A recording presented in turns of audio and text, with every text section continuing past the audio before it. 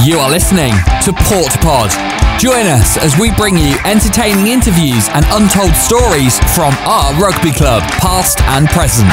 Brought to you by Southport Rugby Club.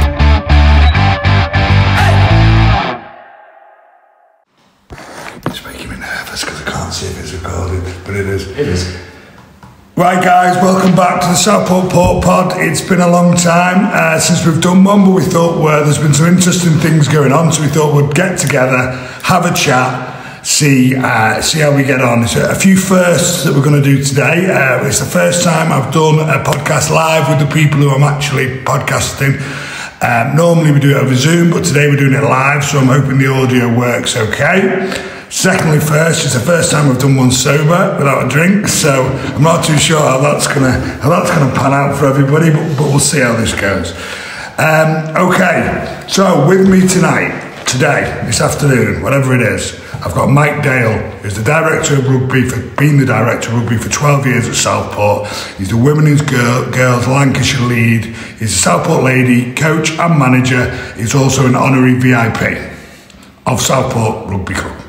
That's a lot of words in one in one sentence. We've got Darren Hall, who is the current Southport head coach and everyone's favourite South African. We've got Ben Davis, who is a National League ma- match official on the national panel since 2015. Uh, he's a current level three and four match official. He's a former Liverpool Society um, training officer, so we've got him to blame for the training of the referees, essentially. So, welcome, guys. How are you? Is everyone okay? Not bad, folks. Yeah, good, thanks, mate. Thanks for the intro, folks. Yeah, it's good. I always do my best for you. um, so we're gonna we'll put this podcast together to go through some of the recent goings on with the with the law changes or the proposed law changes within. Uh, Within rugby, I'll go through a brief history of what's happened over the last mo- last month or so, and then we will we can start discussing it and see what everyone's views are and what we think has happened and what we think is going to happen. So, Thursday, the 19th of January, there was a press release. I think it's fair to say there was a surprise to everyone about the tackle height in rugby. It was targeted as a grassroots level or amateur level change in tackle height. By the 23rd of January, there was a, a petition was started. Um, on the 26th of January, World Rugby did an interview and saying that this is going to be coming in at all levels. By the 27th of January, there were 75,000 uh, names on a petition. World Rugby released a statement saying they had no plans to bring in the change in tackle height, and RFU released a statement apologising for the concerns they'd caused. Basically, it's been a shambles for a month. So, what's everyone's view on it? Uh, we'll come to you first, Mike, see what you think. I think my biggest problem with it all is the lack of engagement with us as a community game. I think the community game at the moment is not getting consulted on a great deal, but to come out with a statement like that without the true facts and the backtracking that's gone on since is uh, it's not great for the game, is it? No, it feels a little bit like, uh, yeah, like, like they weren't quite sure what they were doing. But did, Darren, did you see the? Uh, did you see it coming? Did you see this law change coming? No, not at all. Um, and the reaction from the players, from my players, said it all. Uh, just unhappy, confused, um, not sure. I can understand why they want to go down that route for, for, for safety reasons, but there's no time to officiate it properly. It's like, okay, that's going to happen. It's going to happen in three, four months' time, and everyone needs to be on the same page. And sometimes we already struggle at grassroots level to keep the tackle heights already lower than the dangerous levels they're at now. So to go, what, five inches lower, it's hard to, to put all that kind of pressure on the officials, and especially if there's only one official. You know, if, if there's a team of three, you can, I'd understand it being a little bit more controlled, but then to put all of that pressure onto one individual um, is, uh, you know, there- there'll be moments where games will be won and lost in the dying minutes because of the, a high tackle or what will be deemed as a new high tackle, and you're going to have a lot of angry supporters and uh, staff and players because uh, one ref might allow it to touch high and one will won't even look at it and penalise it immediately. Yeah.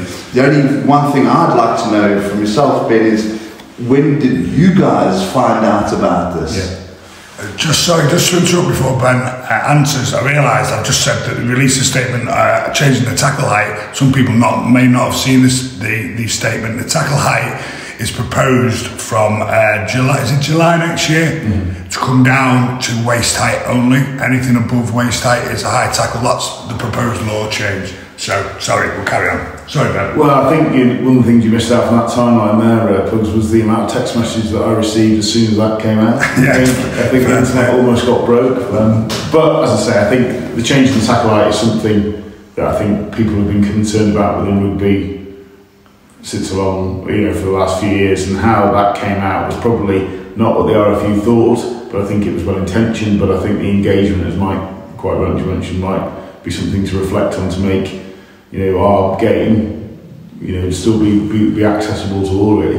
I think one of the things that Darren mentioned as well was that there was always a lot of talk about the actual tackle height.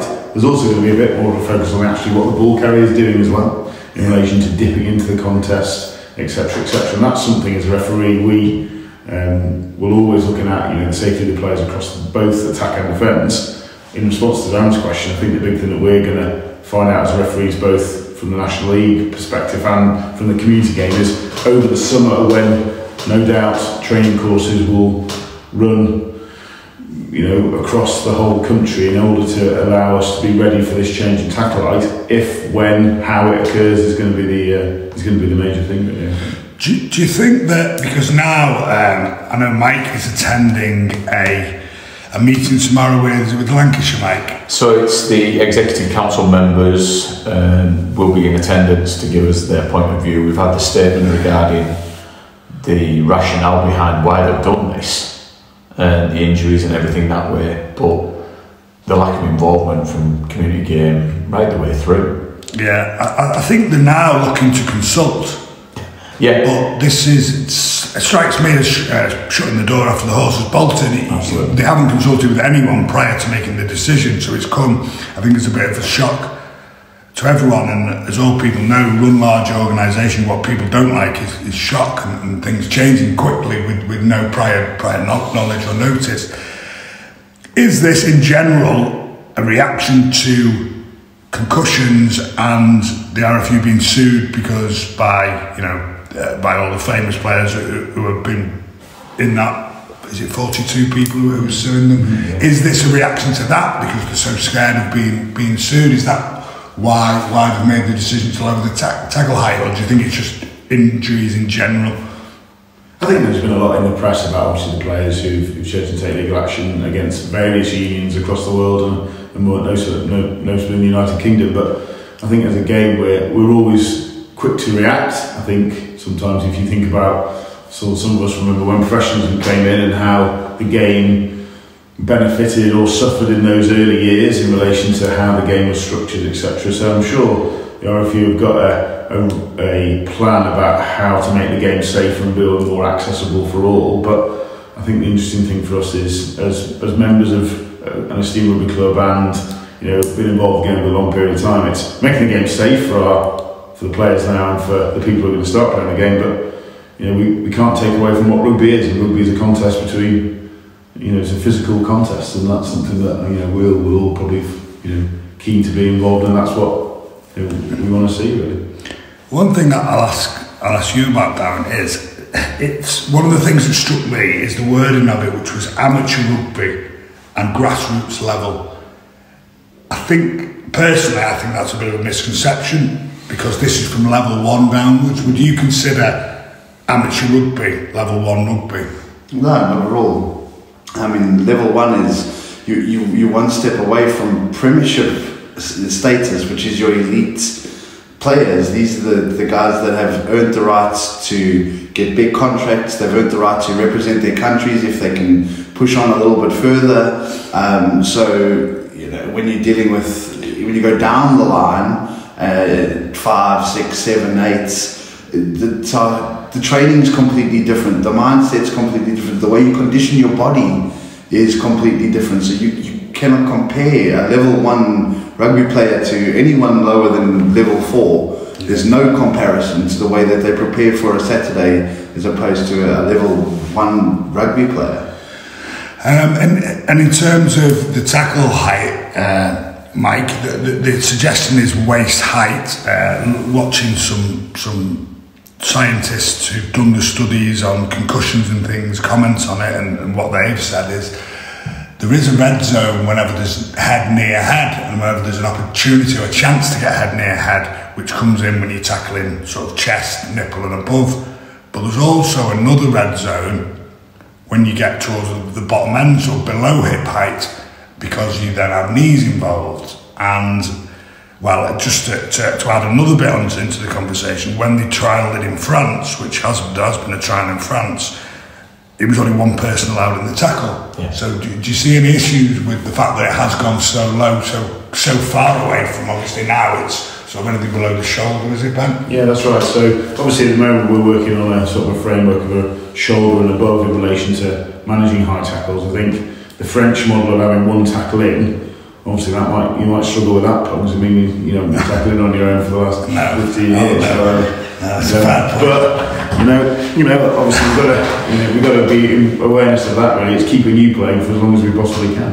Um, but I think the height of the tackle as it changes now, I think there's something that we- we're all going to have to look at. But if we, the French model is obviously what the French have decided to do. There's obviously, I think, there's some changes in relation to how the New Zealanders play in relation to their lower levels. But over here, the grassroots rugby is a different, it's a different type of game. It's a forwards-dominated game. You know, English rugby, you know, is built around a maul. You know, I think the maul might be an interesting concept and how that's set up. Um, but also, you know, it's it's going to fundamentally change the game that we all love, and, and how that changes it made is going to be interesting. And you know, going on from my personal perspective, from a referee perspective, it changes how we train our referees, how we, you know, mentor them, how we um, get them ready to deal with such a massive seismic shift for players who are played in a certain way for a long period of time, and then all of a sudden have to change something that ultimately us as referees are going to have to see on that day-to-day basis when we're out in the middle. So, um, yeah, challenging times. I think. I agree. And for myself, certainly as a director of rugby, we want to keep as many people in the game as we possibly can.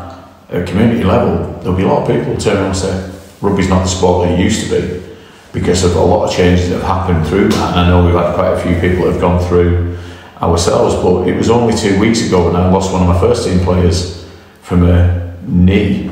So legitimate tackle, caught the knee of the player, had concussion that way. So I think when I first started playing rugby, yes, it was all about tackle around the waist and do everything else. But as the game's progressed over years, the contests progressed. Mm-hmm. It's a lot more physical now. It's also about um, obviously stopping the offload uh, and, and with the law changing. Um, Darren, how would you see tactics changing if, if indeed it does come in as proposed? If as a ball carrier you cannot lean, you can't lean into the tackle, and as a, an attacker, uh, sorry, as a defender, you can only tackle waist height. Surely that's going to promote the offload. Yeah, I, th- I think your training will have to be amended to, to those laws, but I'm also thinking more along the lines of you're going to, I think that the card ratio per game is going to be higher, um, especially in the initial six months, because the referees will have to find their rhythm. Yeah. And obviously, when you've got 50, 30 lads screaming at a referee because they all think it's higher than what they've seen on a chart, Yeah. the ref's going to have to be under pressure and make decisions. So I think you, your training will also have to come down to like maybe training with 14 men for 10 minutes and maybe even 13. You'd have Yeah. to kind of incorporate that into The fact how, that you're going to have to play with less numbers. yes, and how are you going to look in your set piece? How are you going to look in your defence? Because you have to take that into consideration. You know, these are things that, you know, it's just as vital to to being successful because you know that you're not going to, no team's going to go through a game unscathed in the first five, six games. You're going to lose guys to, to cards because they're going to try their best, but you know, habits are habits. It's hard to break habits sometimes. So, so if you were to, if you were to get a tap penalty five metres from the line, how do you stop that if you can only tackle waist and below? The words of Romain Poite, I'm the referee, not the coach. Yeah, it's a fair point, but you know, I, I don't see a possible way of s- unless you catch someone straight from the front and you yeah. drive them back. I think on- basically you tackle, fall forward and score the try. Yeah, I mean, I was involved in a game on Saturday uh, up at Tynedale, and that situation did arise where, you know, there was a tap penalty on the five metre line, and you know, if if we had enforced the, the tackle laws that you know potentially are coming in, yeah, we'd have either had penalty try or that, you know, if he didn't score, we'd be looking at definite foul play and, and, and dealing with it as as is. But you know, those kind of situations are you know isolated incidents in the game, but very important, aren't they? You know, that's real key area of the stuff that where tries are going to be scored, and referees are looking for a lot of things when that happens. When we're in that, you know, in and around the goal line. You know, tackle height is something that's going to be really interesting because you know if you think about the foul play and how penalty tries are given, you know, if for that active foul play I like likely try would have been scored, but we're going to be under the sticks. So um, yeah, something to something to definitely think about. Do you not feel that the um, obviously the judgment of whether a player is lowering into contact and whether a player is around the waist? Uh, I know you probably like this, but means that the referee is the most important person on the pitch almost because every single contact. I know they do already, every single every single Yeah. tackle they have to. I know they sort of do already, but not to this extent. They have to make an assessment of whether the ball carrier's leaning in or whether the tackle player is going is has ridden up above the waist. I think you know that's a really good point. That because I mean we've played against each other, and you know, and how I carry the ball when I played, and how you carry the ball when you are still playing. You know, that was a big part of our games. Um, as a referee, you're making 500 probably plus decisions, assessments per half potentially. So trying to referee the ball carrier, damn the tackler, and then having a tackle or a ruck after that is is going to be an interesting kind of process. Really, I think something that referees will adapt to. But I think the lower level referees may find that a bit more of a challenge. And you know, in this you know era of you know trying to retain people within the game, you know, that might be another another stressor to that already you know difficult game as a referee. And, and some people may walk away from it. Hopefully, hopefully they won't. But um, but something Yeah. that we, we we've got to consider. I think. How do you think, Mike, it plays into the back to rugby policy of the RFU, which is trying to get players back involved in rugby? Surely it, it retracts from that because people are going to go, I'm not going back to that, it's not the game I left. Absolutely, and getting them players that have not been playing, getting back playing is one of the key things. I think one thing we might say at the moment as well, all the inclusive rugbies, i.e. the touch, the um, the ready for rugby, that's great initiatives. If we carry on playing them all the time, where does the normal game go? The, the game at the moment, we're losing players around the community level. And I think there is rugby. Rugby's a sport that everybody wants to play, everyone wants to officiate, but we're not getting to that point at the moment. It'll be interesting to see what's said tomorrow night at this meeting Yeah. I'm attending. So uh, So who, who will be at this meeting? What's the likely turnout? they've invited at least two people per club, and it's full. It's at Liverpool St Helens tomorrow night, and the exec council members are there. Um, Lancashire RFU are doing it. Every RFU are doing this consultation but Like you said earlier, it's like the horses Yeah. bought it already, and they've got to do it now. They've said in their mandate that they will consult. Well, it's a little bit late. People probably would have been a lot more accepting if you phase this in over a few years Yeah. and your children that are playing at the moment, maybe at 13, 14, as they grow through.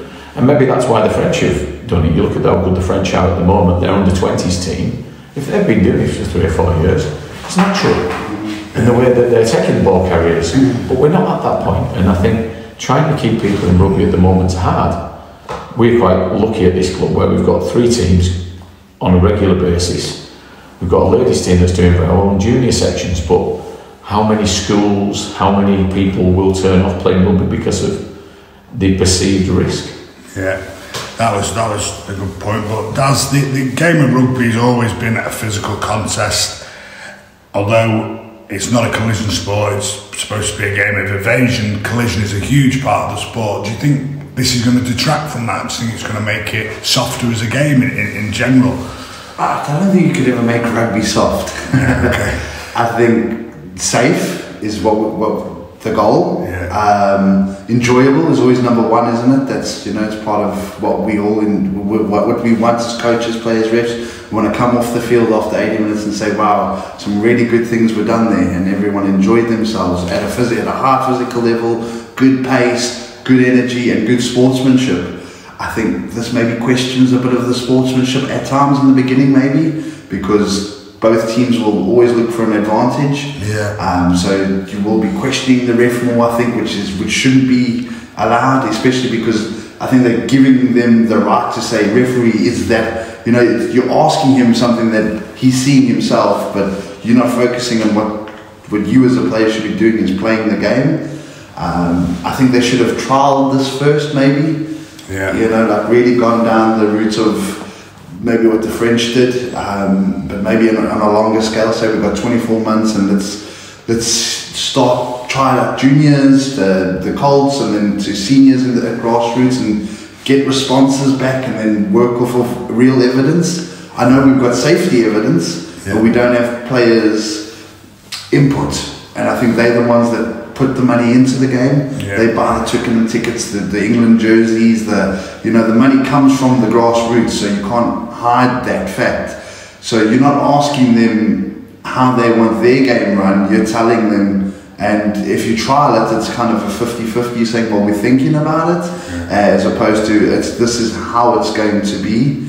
So I mean, there is, but I'm sure there's things that will come out from the your meeting and other meetings, and they'll go back to HQ and they'll say, "Listen, guys, you know we've got serious concerns here. Let's let's let's focus on one, two, and three, whatever that may be for them, and let's try and work with the communities more. Yeah. You know, I mean, I, I don't, I don't think I would be um, out of order saying that. I don't think anybody round this uh, table or stool, as I like to call it, um, would disagree that the tackle height probably does need to be lowered. I think the problem comes the fact that they've done it without any consultancy and it's so extreme. They haven't lowered it by six inches, 12 inches. They've lo- They've lowered it by half the size of your body into an area that scientists are saying is dangerous. Has anybody heard anybody say anything positive about it and said they think it's a good idea and they think it will improve the game? I've heard a few scrum halves that play at this club and a couple of hookers Oh, that uh, have maybe been very positive about, but no, definitely not. I'm- And I don't doubt when there was, what, 80,000 people at Twickenham at the weekend, it was probably the talking point over a pint for most people. Yeah, well, if they've got to park the Land Rover somewhere and chat about something. Do you know what I mean? After they put the shooting jackets on, they've got to have something to talk about. but Ben, have you heard anyone say anything positive about it from the referee's perspective? I know the ref's gone, oh, I can't wait to ref this. Yes, I mean, I mean, refereeing is, is a is a poison chalice in some ways, but I think when new laws or things come out, you know, some referees do get a little bit excited about it. It's another thing to blow the whistle about in some cases, but in other ways, it sometimes gives us an opportunity to see how the game develops. I think you watch referees who refereed in the game. Oh, I don't know, in the 90s, and, you, and I watch those games back now on YouTube in the quiet nights with a two year old. Um, those games were just jungle warfare, but now the game has developed a little bit into a game that's a bit more respectable. Has the game developed in relation to the amount of kicking that we see now in the top level game? Yeah, I think maybe a lower tackle height may encourage a bit more of an attack. The one thing I would say, you know, if you watch the games, you know, in the early days when we were growing up, Cogs were watching the Super 12 and seeing those kind of games and how that, you know, reinvented or reinvigorated the game Yeah. as professionalism came in, you know, could the lower tackle height make a quicker game? Could it see the play become a bit more open? But I think if you look back at those games in the Super 12 of the 90s, you know, the game was open and it was free and, and everyone played and it was something that you, you know, as a George Watson, everyone watched it, didn't they? Yeah. Yeah. You know, you think about that now, is it within the Premiership? Is the same? Is there the same happiness about the game? I'm, I'm not sure. But from a referee perspective, going back to your point, Pugs is, uh, you know, I think you know, it will be a challenge for us. I think it'll be something that hopefully we'll adapt to quite quickly if, it, if and when it comes in. But you know, as long as there's technical areas, I'm, I'm always going to be happy. Yeah, the only, sorry, Matt, the only positive I can see in the whole thing is this could be the end of Gary Spengler. he, he, could- he could have to retire on this because he can't get his head around it. It's the only real positive I can see. Sorry, Mike, did I jump in on you there? Oh dear. Uh, no, it's. I think there's going to have to be, if it is implemented, I think the engagement between coaches, referees, clubs, referees has got to start really early. Never mind the RFU doing their bit because the referees, we can't play a game without them. And I've tried. you, you certainly have. You've been playing a few games on your touchline as well. Yeah, while it's not my they've sort of managed to give you a Christmas card. But, um, but I think one of the big things is, is that engagement across the whole piece at the moment. It is key. If the RFU would engage with us and the referees, there's no question we all want to make it safer. Without a shadow of a doubt. I do think that, and I'm sure Daz will agree, although it is frustrating, the head concussion protocol has been a new, fairly new thing in recent seasons, and it has led to lots of players having lots of time off the field that wouldn't have happened three or four years ago. totally. Uh, you know, we must have had six, seven, eight, Twelve. 12. I was getting there if you'd left me a minute. and uh, obviously it's frustrating in terms of selecting sides, but you know, Darren doesn't agree, I'm sure, with selecting anyone who's not fit to play, particularly if it's an injury you can't see. Um, the, I just want to go on to something slightly different, slightly, slightly a bit. We'll, we'll, we'll leave this now at the tackle height, and we'll look at other laws in the game. So, if you could change any laws in the game to improve the game for the spectator, or for fun, or for to make it better, or better, as my mum would me to say, what um, what laws would you change to make the game to improve the game? I can tell you mine. I've got them written down for ages. Go on, man. What would you Uh, change? I'd probably take away the scrum option from free kicks. Yeah. I think you know a lot of people take you know a lot of referees you know will ping a free kick from an early engagement and everything. A lot of teams will just take the scrum again. Yeah. The game's slowed down, Yeah. etc. etc. We have a free kick, you know, from a mark. The game's the ball's back in play, but I think from a free kick from scrum offensive, I think. Do you not think the timings and everything will help the game to be a little bit quicker? The proposed timings and everything that should come in. Uh, what to quicken up goal Yeah. kicks? And I think that's another thing that refereeing is. You know, it's going to take it more difficult. I think we've we've got an onus to, for 60 seconds at penalties and 90s at uh, 90 seconds at try score at the moment. I think there's a be a brave referee to implement that Yeah. anywhere on the, this side of the uh, thing. What you I know certainly that's something that I will be looking at. One, one of my pet hates is, and I'll ask you this one, Darren, scrummage, particularly not so much at grassroots level, but more at international level. Reset scrums, do you think that's an issue within the game? It's always going to be an issue when you've got one ton versus another ton trying to dominate the shoulder battle first, the, the angle battles, and then obviously the power that follows through. It's hard to. But more in particular, it's use in gamesmanship. So Yeah. if you're winning the game by three points or four points, and you've got four minutes on the clock, and you get a scrum, that's the game over because you kill the scrum, you kill the scrum, you kill the scrum, you kick the ball out. Yeah, I mean, that, that does fall down into a little bit of dirty tactics that are all over the, the park. And, um, but then again, it's the refs to pick that up, and I think the top refs do pick that up. They'll they'll they'll read the body language of the team that's in control of the ball, and they'll know that there's no urgency there. There's constantly shifting, constantly um, taking away from a fair contest, and I think you know uh, there should be a I don't know, to, you should identify it and maybe penalise that. Maybe a free kick, that's not so much more of a penalty. Take, take away the take away the um, Scrum from a free take away the scrum just from give me a free kick and then we can ball back in play then so that you kick it out or you Yeah. can yeah. Yeah. Uh, any other laws, Mike, that you, you think if we did that, that would make the game better? No, I thought the way that the ruck's changed over the last number of years has certainly brought more cynicism into the ruck. I came from a background where the, the players refereed that aspect of the game, which the They'll never catch on. Uh, he'll never catch on. And- but it gave the referee one less thing to worry about. I wouldn't dare lay on one side of the rope just because I can. There are still players who are still the, some of the cheap infringements that are out there. I think interpretation, but just consistency. That's one of the things. I would somehow, I don't know, I don't know what law you would bring in to do it, I would take out the caterpillar in the ruck. I think it's just wastes so much time in the game. Scrum gives the scrum half an arm ride to box kick the ball. He doesn't even need to practice box kicking with any pressure on him now. 'cause if you set up a caterpillar, there's never going to be any pressure on you. And it just, for me, it slows the game down so much. Hmm. I wouldn't allow. I don't know how you'd form a law, which means you can't purposely lengthen a ruck or however however you do it, because I do hmm. think it, it detracts from the game.